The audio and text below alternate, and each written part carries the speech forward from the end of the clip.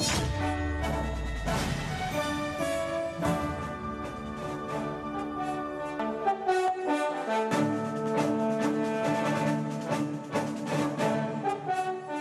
位好，这里是中国太平保险凤凰全球连线，我是李科夫。联合国气候变化框架公约第二十七次缔约方大会正在埃及的沙姆沙伊赫召开，多国元首、部长和谈判代表等将就气候问题商讨对策。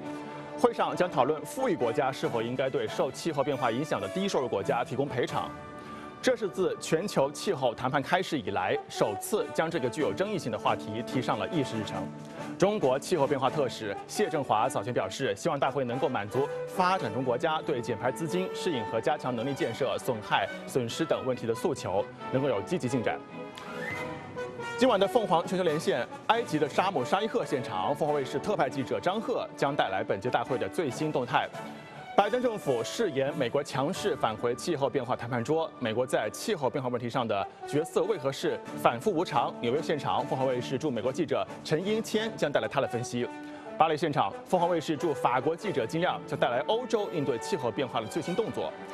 气候变化融资问题未能解决，阻挡一份气候协议最大的阻碍在哪里？为何中国的角色如此重要？上海现场，上海外国语大学特聘教授黄静将带来他的观点。首先，我们来看张冲的这份报道。联合国气候变化框架公约第二十七次缔约方大会六号在埃及开幕，多国政要和相关人士出席。本次气候峰会首次将气候赔偿列入议程，美西方等发达国家是否愿意许下承诺并坚定执行备受瞩目。在峰会开幕当天接任大会主席的埃及外长舒凯里就指出，发达国家应兑现每年为支持发展中国家适应气候变化提供一千亿美元的诺言，并在开幕式上呼吁各国做出承诺。لأن نؤكد للعالم أننا ندرك حجم التحدي وأننا نمتلك الإرادة السياسية للتصدي 舒凯里的呼吁似乎也有着督促各国履行承诺的言外之意。毕竟，如果协定可以随意推翻，那承诺便更是空口无凭了。美国政府曾推翻京都议定书和巴黎协定两份气候文件的先例，让舆论对美总统拜登此次参会非议颇多。就有舆论指出，携十六名高官参会的拜登，此行亟待解决的问题便是恢复美国在气候行动上的信誉。美国最近一次退出气候协定是在二零二零年特朗普政府执政期间。随着中期选举临近，党争胜负难料，拜登政府此行是否有政治目的，引人怀疑；能否言出必行，更是难下定论。在气候问题上反复横跳的国家也并不止美国一家。早前宣布不参会的英相苏纳克，也在遭到口诛笔伐后改变主意，决定参会。此外，欧洲多国因能源危机纷纷重启燃煤或推迟退煤进程的消息也不绝于耳。坚守承诺疏解气候困局，西方仍需努力。不少民间团体也对美西方在气候问题上的反复横跳有所不满。就有环保团体在德国南部的桥上悬挂大型海报，敦促政治决策者阻止全球变暖等问题进一步恶化。也有示威者在荷兰和西班牙对政府应对气候变化不利进行抗议活动。气候恶化，民怨沸腾之际，美西方明里暗里仍不忘甩锅。美方官员表示，希望与中国商谈气候变化问题，却绝口不提中美之间包括气候问题等一系列合作。正是因为美国众议院院长佩洛西窜台，才戛然而止。美国也并非全世界，与美方停止气候问题合作，不代表中国在相关领域工作有所松懈。参会的中国气候变化特使谢振华就表示，中国在巴黎协定实施阶段取得显著成效。中国积极落实巴黎协定。进一步提高国家自主贡献的力度，取得了显著的成效。美西方不如先从切实落实巴黎协定开始，停止在气候问题上的反复横跳，与世界团结在一起，共面气候问题。各方代表据埃及，本届大会有望达成哪些成果？气候问题引反对，能源危机之下，欧洲何去何从？反复横跳来参会，美代表团此行究竟有何目的？拭目以待。自巴黎气候大会开始结束之后啊，可以说全世界的形势发生了翻天覆地的变化。大家都知道原因何在啊？但是就在本届气候大会六号开幕当天，联合国气世界气象组织发布的报告显示，在温室气体持续排放的影响下，过去八年成了有史以来最热的八年啊！限制全球气温上升一点五度的目标，看起来已经很难实现了。好，我们首先有请正在沙姆沙伊赫现场的特派记者张赫，了解一下本次大会的重要议题和看点。那么这一届联合国气候变化大会已经进入到了第二天，今天是气候大会领导人峰会，英国、法国、巴基斯坦等多国元首领导人呢都已经出席了峰会。呃，峰会呢将于七号和八号两天举行，期间将有六次的圆桌会议。埃及总统塞西等国领导人呢在今天分别发表了讲话。那么，中国气候变化特使谢振华也参加了当天的峰会。此次呃峰会大会的召开呢，是在全球面临各类挑战的大背景下召开的。全球正在面临正呃正在面临能源危机、嗯金融危机、粮食危机以及地区政治、地缘政治等紧张等等。那么外界也有声音认为呢，在此背景下，气候大会变呃气候变暖问题呢就看起来不是那么的重要，而各国很难达成一致。但埃及始终认为这反而是一个非常好的契机，让各方抛开分歧，共同应对人类的未来生存发展的问题的挑战。那么另一方面，埃及一直主张各国要兑现此前的承诺，要执行巴黎协定的共识。那么，首先就是要要求富有的国家对气候变化冲击最大而且不负有任何责任的贫穷国家进行赔偿。所呃，所以这个损失损害补偿的这种声音呢，在昨天的部长级会议上呢，已经非常的明显。呃，那么受害国也将在这几天的会议上呼吁将赔偿列入议程。埃及外长舒凯里在昨天的会议上再次强调，要求发达国家兑现每年支持发展中国家适应气候变化而提供的一千亿美元的承诺。而埃及担任本而埃及呢担任本届气候大会主席国所面临的挑战也是非常显而易见的。主播，好的，谢谢张赫。呃，就像张赫所说的，这一次大会重在落实，就是将这个各国通过立法、政策、项目等途径，表明本国将如何落实巴黎协定所设定的一些目标。啊，有请上海外国大学特聘教授啊黄静，在上海现场。那么我们知道，其实，在气候变化议题中，一个很关键的问题就是气候融资问题。比如说，啊，在巴黎协定上，啊。各方发达国家承诺的给发展中国家一千亿美元每年这样一个补偿啊，始终是没有落实的。为什么这个问题始终存在？为什么如此难以去克服？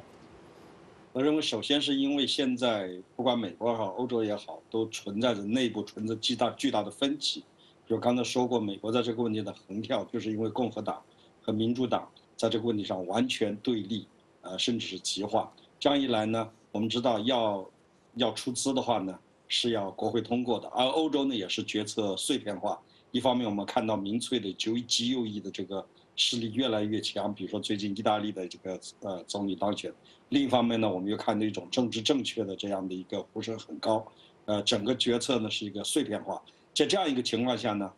因为你要知道，要要成要成要实现这个承诺，首先国内要达成一致。这样政府呢才可以拿出钱来。现在国内很难达成一致，各种利益集团、政治势力集团互相争斗，拿这个事情说事儿，所以呢达不成一致，当然这个事情就落空。这是第一点。第二点呢，我们知道现在西方各个国家，就发达国家经济都处在一个非常糟糕的境况状况。一方面通货膨胀，一方面经济低迷，啊，各各各国呢又是债台高筑，本来自己的这个钱就很紧张，再要拿出一部分钱来去支援他人呢，也是很难的。那么最三第三一个呢，就是他们的战略关注力和战略资源越来越多的陷入了陷入到了所谓的乌克兰陷阱，就现在的俄乌冲突之中去。所以要叫这个时候呢，叫他们去打仗，他们是可以咬着牙拿出钱来去支持乌克兰跟俄罗斯打仗。叫但是呢，叫他们搞这个气候环保，可能这个钱就拿不出来了。是是，像您说的，现在英国民众、欧洲民众想的是怎么样过冬。所以说，你让他拿出一千亿美元来帮助应对全球变暖，确实是很难想象的一件事情。是，的确这个形势发生了变化。我们有请在美国的特特别记者啊，不是驻美国记者陈英谦来了解一下美国国内对拜登政府强势的介入这个气候变化的谈判桌，他已经不是第一次了啊，应该是第三次强势介入气候变化的谈判桌了，有什么看法呢？是的，科夫。那么现在根据白宫的最新消息，美国总统拜登呢会在十一月十一日率领一个包括美国国务卿布林肯、美国国家安全顾问沙利文等十六位高级别官员在内的代表团呢前往安吉埃及参加联合国的气候变化大会。那么此行拜登有两个目的，第一就是向世界证明特朗普的时代，也就是美国在气候变化上不作为的这个时代已经结束了。拜登力争要恢复美国在气候行动上的信誉，争取到那些受到气候变化影响的发展中国家的支持。那么第二呢，就是拜登他试图去恢复中美之间在气候变化上的合作。相关的合作呢，我们知道在今年八月，呃，佩洛西访问台湾之后呢，都已经被全部暂停了。不过拜登政府现在面临的一个最大的问题就是两个字。缺钱。本届气候变化大会举办的期间，也正逢美国举行中期选举，这就意味着面临选举换届的这个美国国会啊，几乎不会在这个期间做出任何重大的财政承诺。而如果在中期选举之后，共和党会继续把持众议院，那么拜登有关气候补贴方面的法案就更难获得批准了。所以，拜登政府在这一届气候大会上做出的任何承诺，他能不能够兑现，能不能获取资金，我们要打上一个问号。另外呢，其实我们刚刚看到，刚刚张赫我们的埃及记者提到的落实过往承诺呢，是今年气候变化大会的一个关键词。从二零零九年开始，发达国家就承诺会每年给发展中国家提供一千亿美元的气候资金，但是至今为止，这些承诺呢都远远没有实现。每年的气候大会上，我们都看到联合国都是不得不再向美国等发达国家去催债，所以承诺不是重点，落实这些承诺才是关键。客服。是的，谢谢殷谦。我们再来有请在上海现场的上海外国大学特聘教授黄静。我们刚才殷谦也说到了，这一次拜登带着十六位高级官员又去了这个沙姆沙伊赫啊，如同上一次去格拉斯哥一样啊，可以说是想力争恢复美国在气候行动上的声誉。但是仅仅恢复声誉是只是一个表面的现象啊。您觉得他这么高调的试图介入，到底是有什么样的一种政治上的考量呢？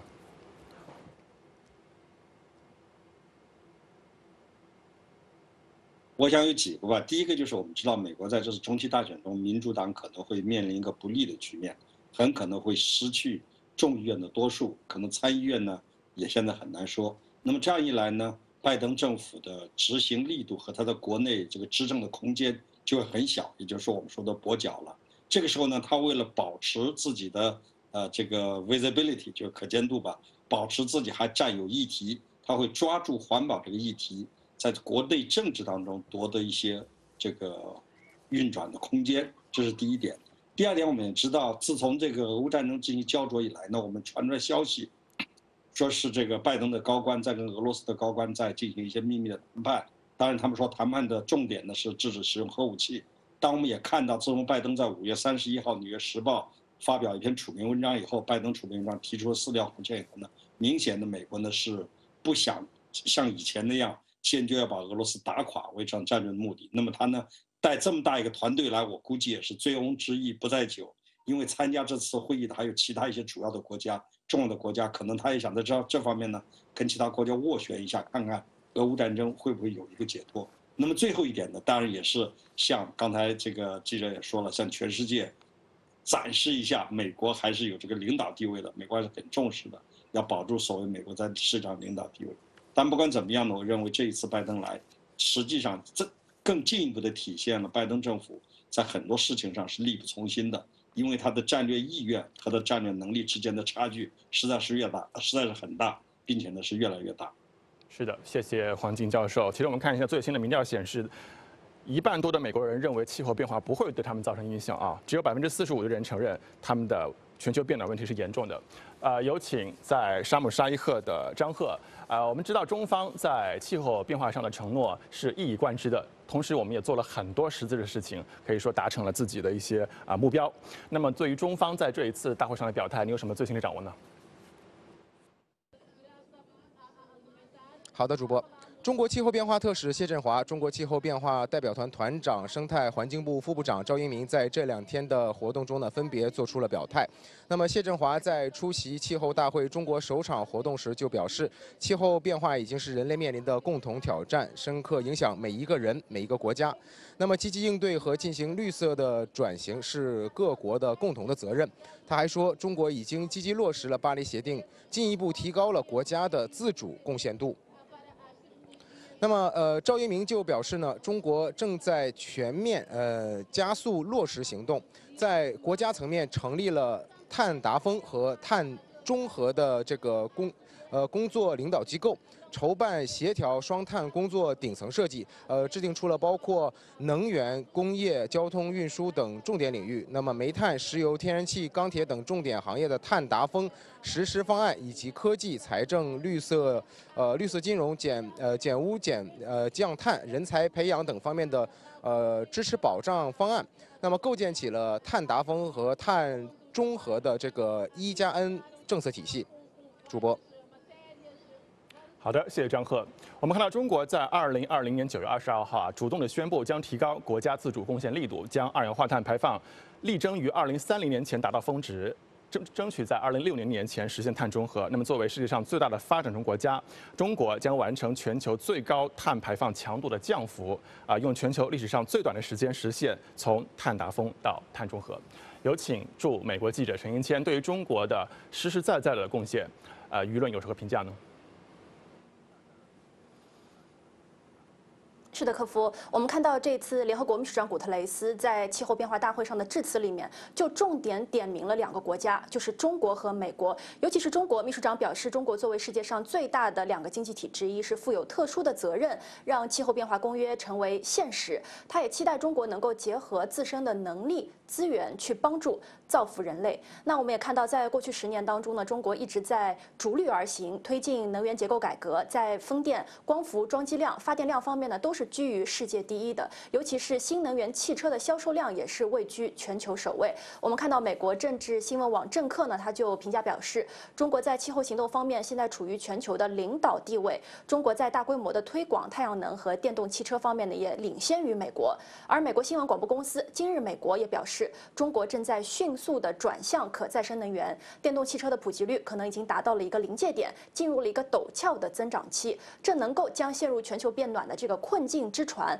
拉出泥潭，改变行驶的方向。我们看到美国彭博新闻社呢，目前也在呃非常密切的关注中国在此次气候变化大会上的一些行动承诺。报道表示，中国此次呢是派出了由中国生态环境部副部长赵英明所率领的五十多人组成的一个代表团来参加会议，它的规模呢是与往届相似。代表团的人数也非常可观，凸显了中国对这次会议的重视。当前呢，现在全球正在受到包括疫情啊、经济低迷、通货膨胀、能源粮食危机、战争等等的多重挑战，所以中国会做出什么样的承诺，分享什么样的成果呢？也都是全球密切关注的焦点。客服，好了，谢谢英谦，让我们了解到什么叫大国担当啊！再来有请在驻法国记者金亮。啊，今天我们知道法国一直是气候变化的重要的参与国和呼吁者。那么，对于这一次大会，法国政府的反应如何呢？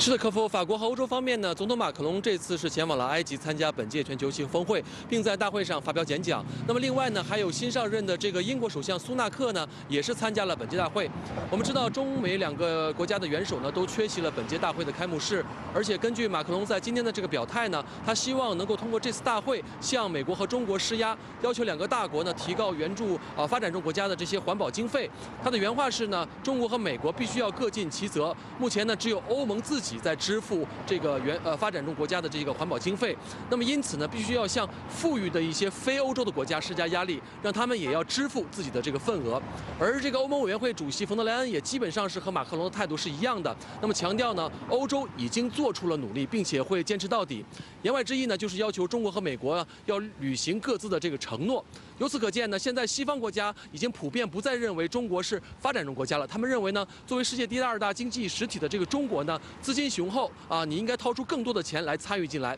甚至不排除呢，西方这次还会借助这一话题呢，来挑拨中国和这个发展中国家之间的这个关系。那我们知道呢，法国其实在应对气候全球这个变化方面呢，是一直是非常的高调，并且呢，还是巴黎气候协定的这个主办国和东道国。但事实上呢，法国自己也没有履行其在巴黎气候协定的内容。就比如说呢，要在2030年提高二氧化碳的这个减排的目标。另外呢，包括当初很多的这个发达国家承诺向低收入国家提供啊一千亿美元的减排资金的承诺呢，至今也仍未到位。那反观中国呢，虽然中国目前仍旧是世界第一大温室气体的排放国。但早在2020年呢，中国的碳排放呢强度就已经比2005年下降了近百分之五十了。那么超额完成了向国际社会做出的这个承诺的目标，并且呢，中国还已经宣布了将在2060年之前达到碳中和的这个承诺。其实近几年呢，欧洲大陆已经成为了气候异常的这个重灾区。那么有报道披露呢，欧洲今年的干旱情况可能是五百年来最为严重的一次。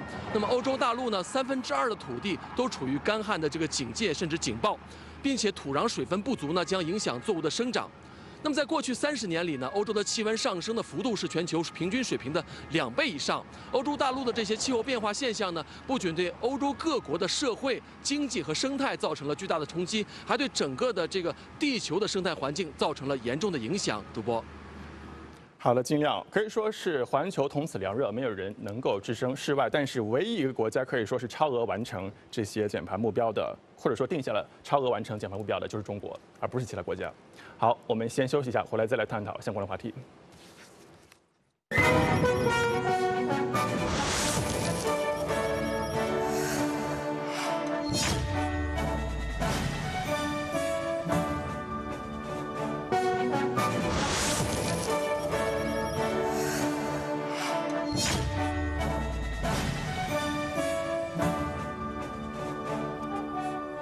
欢迎回来。在气候变化的议题上，中国政府的态度是一以贯之的，就是我们承认全球变化变暖这么一个趋势，也要做很多事情去努力。但美国政府的态度却是反复长跳，比如说特朗普政府时期啊，他是否认全球变暖。那么如果在这个基础上，那还有什么可谈的呢？我们有请。在上海现场的黄静教授，呃，刚好今天十月八号是美国中期选举进行的日子啊，呃，可以说在这一次选举中，对于民主党来讲是意义重大的，呃，但是美国政府在气候变化问题上，或者说其他国际议题上反复长跳这样的态度，呃，到底会对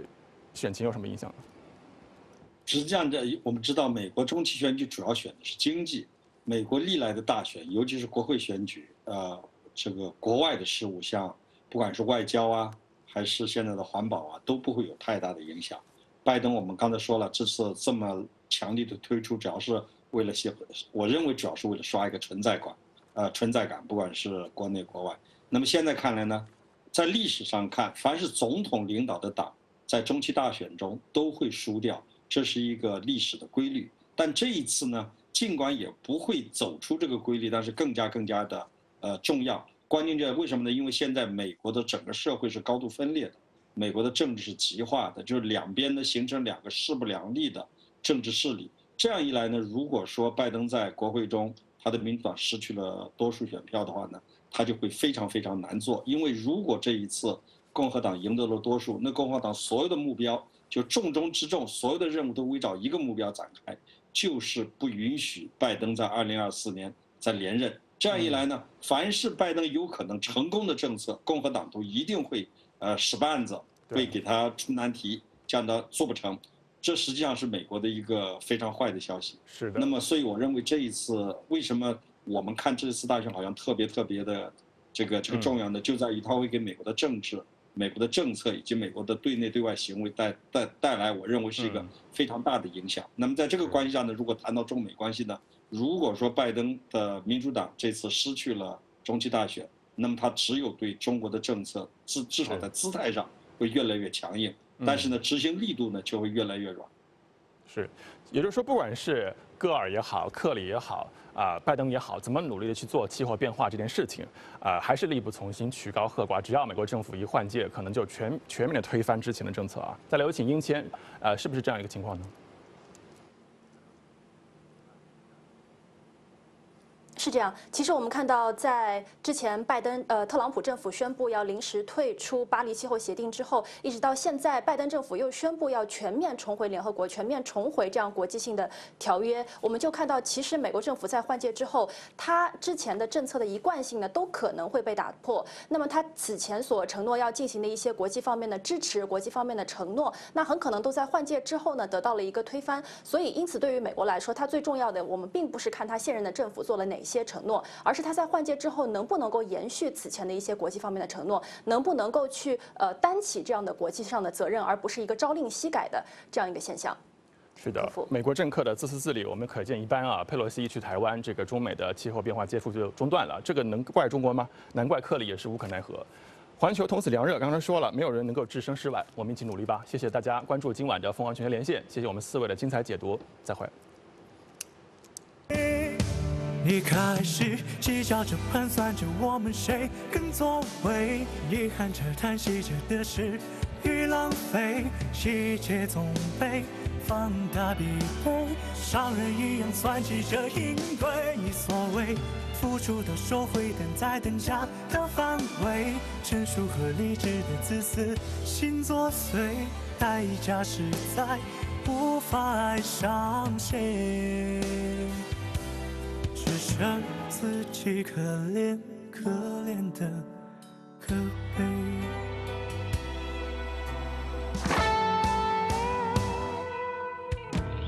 感情难免有落差，